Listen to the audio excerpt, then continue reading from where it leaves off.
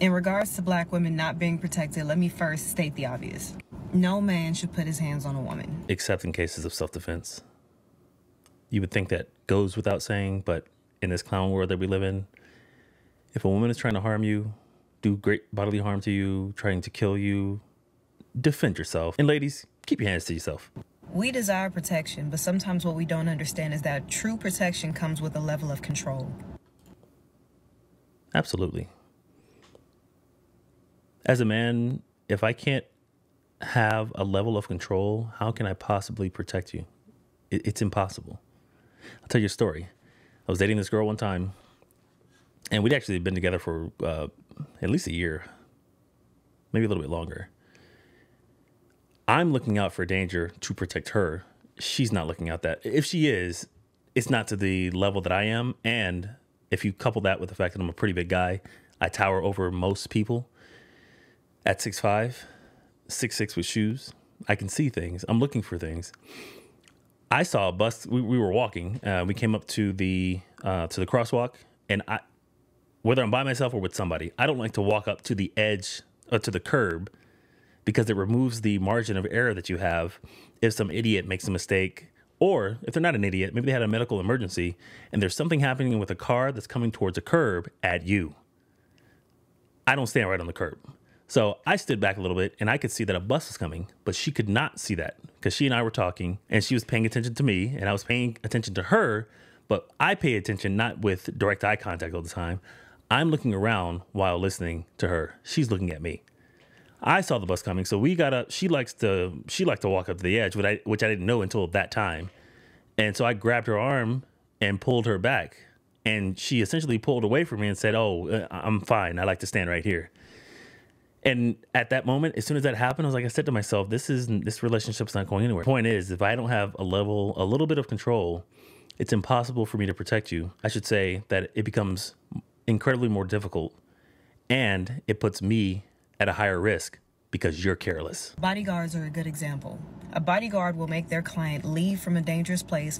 The bodyguard has to know all the details who, what, when, where, why, and how. And the Precisely.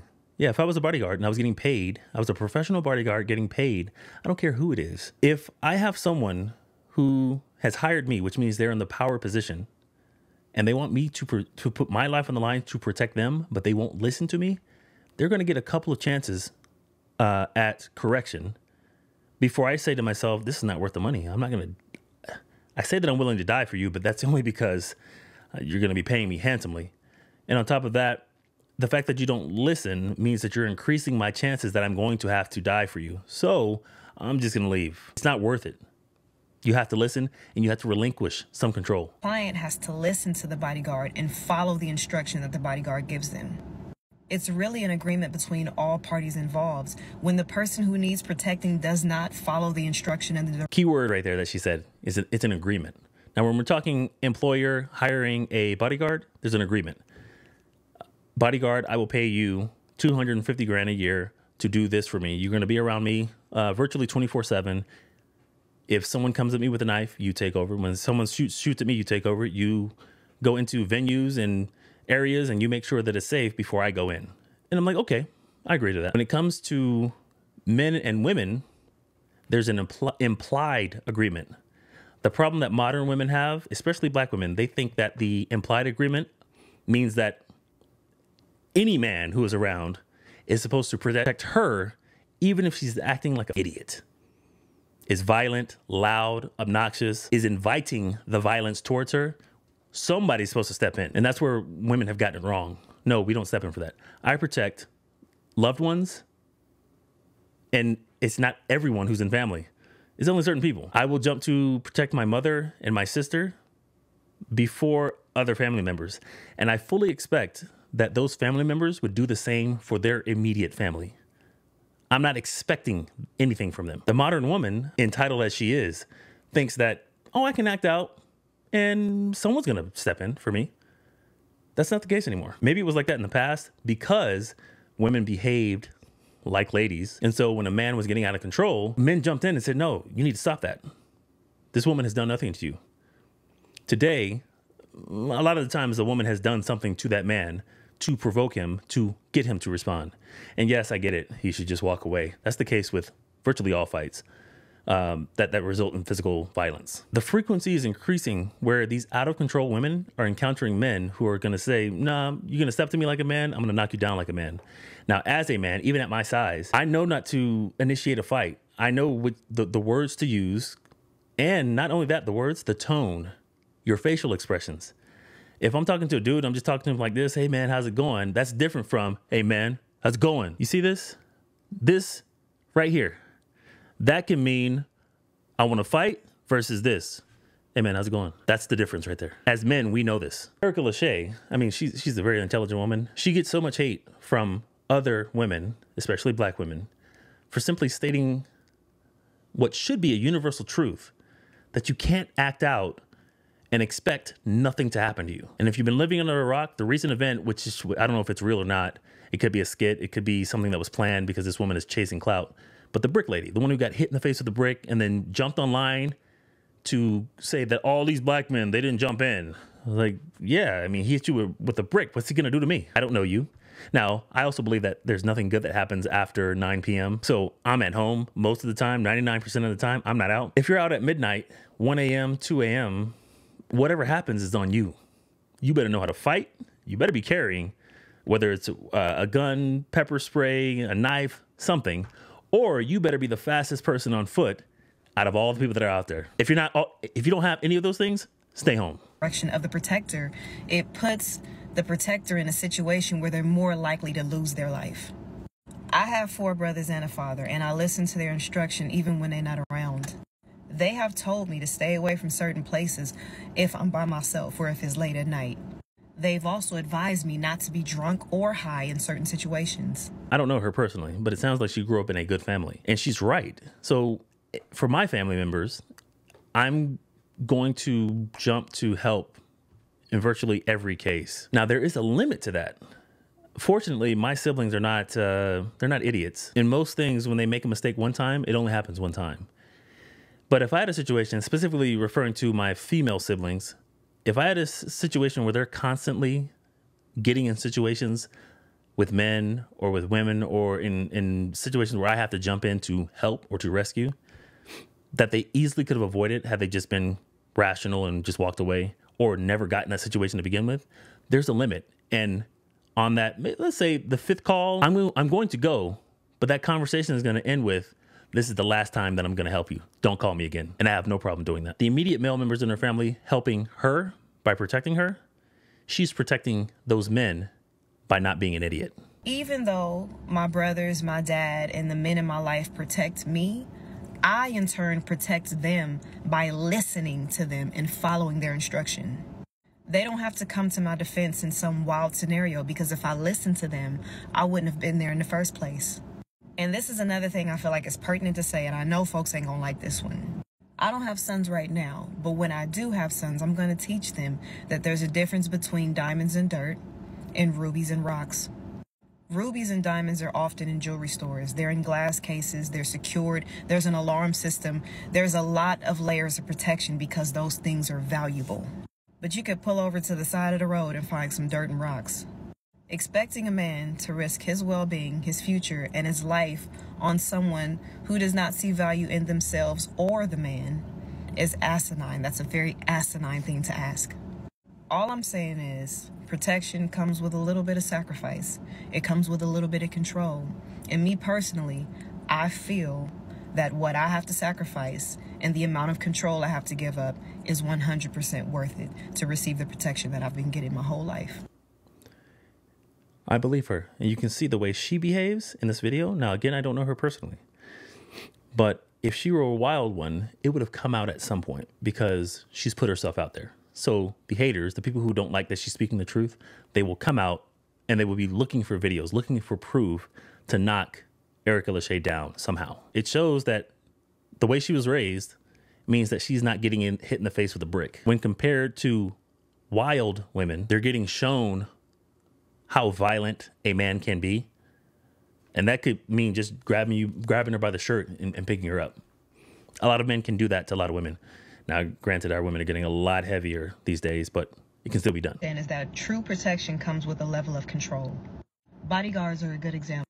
Before we even play this clip, look at Erica Leshai and then look at that woman right there. If strangers, men, are going to protect all women, which woman do you think we're going to protect? The one on the screen right now or Erica Leshai? That's just by looking, just judging the book by its cover. Now let's hear what she has to say. Internalized misogyny. Most women, they don't know what misogyny means. Internalized misogyny is just another way for women who are not the ideal woman or they're the, the typical Western woman, the woman on the screen. They use that to attack other women who will curry favor from the average man, including men they don't know. Is very, very, very dangerous. She can't tell you how it's dangerous. And nothing she said in that video was valid. Normally, we make a statement like that. You follow it up with, well, here's why. Here's one reason why nothing was valid. Let's see if that's the case with this woman. Nothing. And was very, very, very victim blaming. I've heard that when people use words like that multiple times, it's a sign of low intelligence. Is she going to elaborate how it's victim blaming? She was just parroting misogynist talking points. No, she's she's not backed up anything that she said yet. When I say pick me women are dangerous. So we've got internalized misogyny. Just keep your your your NPC scorecard. So non-playable character. Uh, you can I can hear and see where and how this woman was programmed. So we've got internalized misogyny, claiming something is dangerous, and pick me. Black women typically use that as an insult. That is that is what I mean when I say pick me women are dangerous. That whole narrative she's spewing. There's the fourth one narrative. Internalized misogyny, dangerous, pick me, narrative. Is dangerous. And at the end of the day, she is not safe either. Because if she can be out in the newsflash, lady, nobody is safe. The world is dangerous. Fortunately, most people don't get touched by violence. The world is dangerous. It will never be safe. Out and get attacked. That logic is not going to save her. The men around are not going to know that that's the logic she has. That's not going to save her. But what will save her is the fact that she has a brain and she uses it. Miss Leshai is not going to be in situations for the most part that would lead to her being in danger in this dangerous world. Now, like I said, there could be a situation where it's just her time. It's my time. It's your time. And you can't get away. I got my money on Miss Leshai has men around her, not even just her family. She has men around her that are willing to jump in to protect her without question. We have to dismantle patriarchy. We have to. So as she was scrambling with word to come up in, in her pea-sized brain, patriarchy. So that's five things now. Let's see if I can remember all of them. Internalized misogyny, dangerous. She said this multiple times. Pick me. Four is narrative. And five is we have to destroy the patriarchy. The patriarchy is why she can make this stupid video and post it on TikTok with her smartphone over the internet and people can watch it and comment. Dismantle these things. We have to understand that parroting misogynistic talking points doesn't save us as women. You ever watch something and you're just like, I have no words? That's where I am right now. Do us any favors. I I really want to make a longer video and I might. I might I might make a video breaking down each point that she's talking about because that is a very very dangerous video. She's not going to break down anything. She doesn't want to make a longer video. If she had a good point to make or any good points to make or to counter anything that Miss Leshai was saying, she would have done it in that video, but she couldn't. She lacks the intelligence to do it. You can't argue against logic with emotion. I made a video about black women and preventative protection and how if you want someone to protect you, you're going to have to listen to them and try to avoid being in dangerous situations. And because you guys didn't like what I said, I received death threats. People wish that someone would bust my car window and pistol whip me. People wish that some people or that they themselves could find me and hit me with a brick. All these young girls that are out here that are still wet behind the ears but are aging like milk and bananas calling me old. I'm not expecting y'all to be like, oh my gosh, I can't believe that because I know y'all don't care. But I'm going to say what I want regardless because I don't receive my self worth and validation based on what people say about me online. I proudly grew up in a time before all of that. And my self worth and validation is based on my principles and my character. Some of y'all wouldn't know nothing about that. So I'll say this again for the people that have sense preventative protection is the best kind of protection. For every other crime that exists, we understand that preventative measures is the best way to avoid said crimes. If Can anyone argue with what she just said? The people who who are not very intelligent, they will argue with, "You should teach men not to be violent." Do you think evil people listen? So if the guy, the man who hit her with a brick and does a violent act against someone else, whether it's another man or a woman, do you think if I walk up to him and say, "Hey man, you really really should not stab anybody unprovoked?" If it's not in self defense, you shouldn't stab anybody. Do you think these people listen? The fact that they don't listen is how they get caught up in these situations which is why the people who are of sane mind know you have to take some preventative measures to make sure you don't get caught up in a situation. Now, again, this is not 100%. There are some cases where you can get you you'll get blindsided and you won't see the attack, so you can't respond. And let's be let's be fair, most people don't train anyway. Fight or flight. A lot of times people freeze and they don't do anything. If they resort to flight, they're not in shape enough to get away. So they're winded within 10, 20 seconds. She's on point, which is why she's getting death threats. She's not staying on code, the female code, which is why she's being told that I hope a brick gets thrown at you. No one's gonna come at her unless it's a random act of violence. No one is coming at Erica Leshai because of the way she carries herself. I don't want my car broken into or stolen or vandalized. I'm not going to leave it unlocked with valuable things in my car. I know people personally who have gotten their car broken into several times. I've never gotten my car broken into, knock on wood. If I don't want to get robbed, I'm not going to go to the ATM late at night by myself because that is not a wise decision to make. And you guys can say, well, that still doesn't stop people from getting robbed or their car getting stolen or whatever, but it greatly minimizes the risk. You feel me? Same thing when it comes to condoms and birth control. Condoms and birth control are not 100% effective, but it significantly minimizes the risk of you getting an STD or you getting pregnant. In addition to taking preventative measures by not being in dangerous places by yourself, actually listening to the men that tell you to take preventative measures is another way that will help to ensure your safety as a woman in this world. And to the ladies who have never had a man love them enough to try to prevent something bad from happening to them, you honestly have my sincere condolences. And to those of you who say, why don't you just tell men to stop abusing women? Why don't we hold them accountable? If telling someone to stop being an abuser, a thief, or a murderer worked, then the prisons, we wouldn't have a need for prisons. None of that would exist.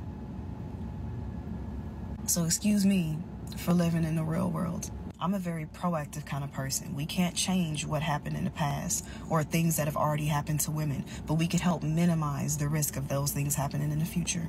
Men, on average, live in the real world, not some fantasy land about how we think things should be. We live in reality because we have to. Until next time.